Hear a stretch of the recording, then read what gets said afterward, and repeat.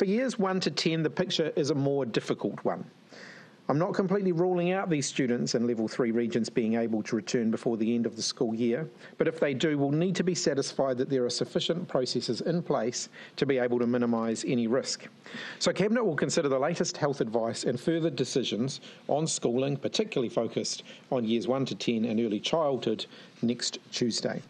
That's Education Minister Chris Hipkins. Under the government's plan, when we move to the traffic light system, all schools will reopen for in person learning. But whether that'll happen for younger kids in Tamaki Makaurau, Auckland, before Christmas isn't clear. Liam Rutherford is the president of NZEI Te Riu Roa. Kia ora. Thanks for being with us, Liam. From the government's plan as it stands, do you, do you think it's realistic to expect Auckland primary schools will return for in person learning this year? Morning, Jack. Nice to be speaking with you this morning.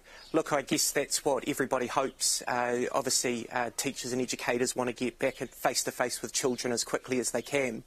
I think probably the biggest frustration that's out there right now is people aren't sure what the bigger plan is. Uh, the announcement that we heard from government on Friday goes some way to that. Uh, but the big question is people want to know specifically what does that mean for education? Uh, we know principals have got a massive job ahead of them around planning that reopening, uh, but currently we just don't have the information that we need to be able to form that plan. What information do you need? Well, uh, the public health order uh, for the vaccine mandate is going to be a big part of it, uh, but we also need to understand how the announcement on Friday links in with schools reopening, uh, particularly at a time where school communities are still going to be dealing with the COVID outbreak. Uh, they need to know uh, what those types of restrictions are going to look like as we look to reopen schools fully. When do you expect to get that information? Will the announcement this Tuesday coming, will that help? Uh, well, we know that the uh, Tuesday announcement is going to be uh, our next uh, opportunity to understand, but as we've seen before, um, the government isn't afraid uh, to throw the ball uh, another week into the future. And how do teachers feel about that? I mean, certainty is difficult in the in the Delta age, isn't it? But but do teachers feel like they have a sufficient framework or a clear enough pathway back to the classroom? Uh, I think, like the rest of the country, we're still making sense of exactly what Friday's announcement is. Uh, I'll tell you what, though, teachers cannot wait to get back uh, to uh, teaching and learning with their children face to face. Uh, but they want to make sure that it is done safely. Uh, and so Tuesday's announcement um, hopefully will reveal the next layer of information. and we want to make sure that we've got time to be able to implement that guideline. So, is the feedback you've had from your members that Friday's announcement perhaps wasn't as clear as it might have been? I think people knew that that was going to be the announcement for all. Uh, for the entire country, mm. uh, but the traffic light system clearly points to all education facilities being open. Uh, the gap in information that we have is what does that actually mean? Uh, we know that there's going to be different types of restrictions at different levels. Uh, we don't have that information, and so that makes planning harder. This week we're expecting uh, senior students at some Auckland high schools to return for in-person learning in schools, albeit socially distanced, of course. From a safety perspective, how do your members in Tamaki Makaurau, Auckland, feel about reopening school? I think the strength that uh, I think the strength of the approach the education sector has taken to date is to lean on the advice of public health experts.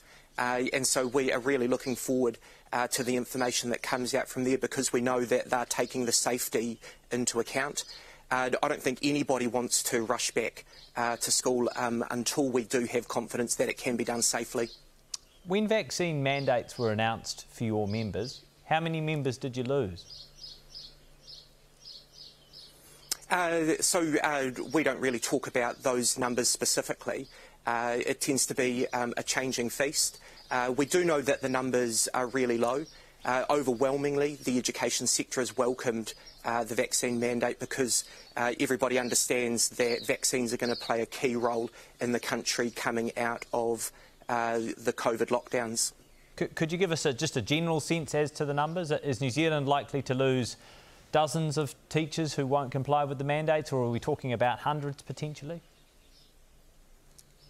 Um, I don't think we're going to know that number until we actually uh, have the have the public health order information. Mm.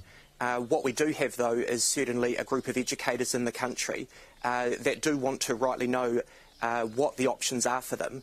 Uh, we know that uh, people are hesitant right now, and the best thing we can do is make sure that we're putting things in place to get good quality information out there. Uh, so at this stage, I think people just want a better understanding of what their options are. But we are talking about a really small number. The overwhelming majority of the sector fully supports the vaccine mandate. Yeah, no, it, it's clear that, that you know the vast majority of teachers and your members support the vaccine mandate. They can see that that is the safest way to get kids back in school for in-person learning, particularly kids who can't be vaccinated at this point in the pandemic response. But I'm just trying to get a sense as to the as to the size of the group of teachers in New Zealand who might be reluctant to go back into a learning environment if they have to get a vaccination. So, so can you just give us a, a, a bit more clarity around that, the size of that group? Well, um, I don't think we actually know what the size of that group is because mm. I think there's going to be a difference between uh, those people that will just outright refuse and those people that will get there once they do get access to that better information and that is certainly what we are hearing from principals out there. Mm. Um, nobody's talking about people that have already handed in their resignation yet. Uh, what they do want to know, though, is what are the options.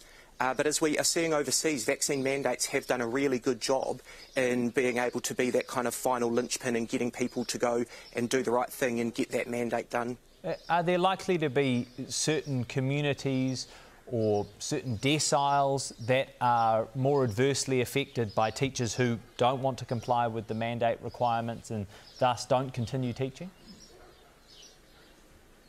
Um, I don't think we've got uh, a sense that it is uh, that those conversations are isolated to any one particular community. Uh, obviously, one of the concerns that we're going to be looking at really closely is the impact that this could have on staffing shortages. Uh, we know that the early childhood sector themselves uh, prior to COVID, uh, we're having massive staff shortages. And uh, the lockdowns uh, and the current state of the ECE sector have compounded that further. Uh, vaccine mandates look like that will stretch them further. Uh, we know likewise um, the, the similar staff shortages are taking place um, in the primary sector. And so this is where we are going to be calling on government to partner with us to make sure that schools and early childhood centres are staffed at a level uh, that is able to meet the needs of children. But, but I, I, look forward to that first deadline. It's November 15th that teachers and ECE educators have to have had their first jab by. So that's three weeks from now. How is that going to be checked? And is there likely to be a bit of a pinch point around that date? Yeah, I mean, uh, those answers are going to lie in the uh, in the public health order that we still don't have. Uh, and it is that lack, and it is that lack of information that is causing frustration out there in the sector. Uh, people do want to understand, particularly principals ar around what's required of them on the 15th of November uh, if they don't have that information through yet. Is there a concern that, that there could be a group of teachers who in the next three weeks aren't prepared to comply with the vaccine mandate and that come November 15th there might all of a sudden be a bit of a shock across the board where ECE educators and, and primary school teachers aren't able to be in schools? I mean, that question just speaks to the vacuum of information that we have uh, because the government also has the option uh, through to put testing regimes in place through until that uh, second dose uh, mm. that's required at the 1st of January next year. And so uh, currently we're dealing in a lot of hypotheticals, and I think that is where the frustration from the sector is coming. Uh, they've been told the headline announcement around vaccine mandates, uh, but actually that next layer of information that actually allows people to plan and offer certainty just isn't there. All right, Liam. Thank you so much, especially for getting up early on your long weekend when you're on holiday with the whānau. That is Liam Rutherford, the president of NZEI Te Riu Roa.